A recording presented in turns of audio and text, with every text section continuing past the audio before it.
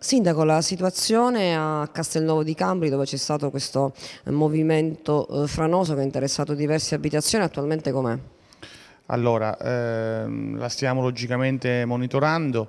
però eh, dopo la pioggia della scorsa giornata eh, abbiamo evacuato un parcheggio antistante un condominio che al momento non è evacuato, però il condominio ma lo stiamo controllando, quindi significa che la frana è in movimento e pertanto eh, bisogna monitorare giornalmente. Eh, C'è da dire che sono già partiti dei lavori in somma urgenza che abbiamo fatto, eh, riguardano logicamente la reggimentazione delle acque del torrente Siccagno e la, realizzazione, la realizzazione di gabbionature alla base eh, del fronte franoso, ciò per evitare che eh, se c'è la caduta di ulteriori detriti, eh, questi detriti vanno a ostacolare il regolare deflusso eh, del fiume. Eh, poi logicamente io voglio fare un appello al governatore D'Alfonso eh, perché so che eh, ha fatto un incontro insieme ad alcuni sindaci della provincia di Teramo, eh, dalla Boschi a Roma, per parlare delle frane e Campri non è stata mh, considerata, quindi lo voglio fare davanti a questa televisione di coinvolgere me, ma me nel senso come rappresentante della cittadinanza per parlare appunto di questioni attinenti alle frane, perché la frana di Castelnuovo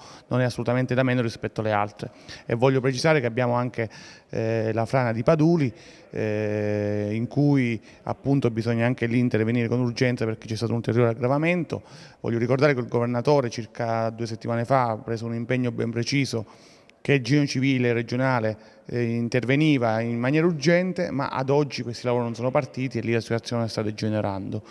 Senta, lei il 20 marzo, dopo il 20 marzo, come il sindaco Brucchi ha già annunciato, eh, se non avrà risposte eh, comunque eh, positive anche in seno a questi emendamenti per il territorio eh, teramano, andrà a Roma, eh, ci sarà una manifestazione?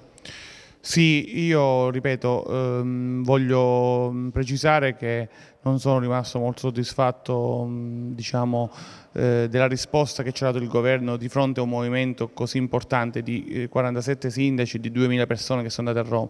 Voglio ricordare che neanche un ministro ci ha accolto, penso che sia una cosa molto grave, però a prescindere da questa cosa noi aspettiamo risposte concrete in base agli emendamenti che abbiamo presentato. Qualora questa cosa non dovesse accadere, noi siamo pronti a mobilitarci. Eh, anche qui voglio fare un appello al governatore D'Alfonso che eh, questa volta venga con noi perché la scorsa volta c'è stata una sua mancanza e quindi abbiamo bisogno della sua presenza per far sentire la nostra voce.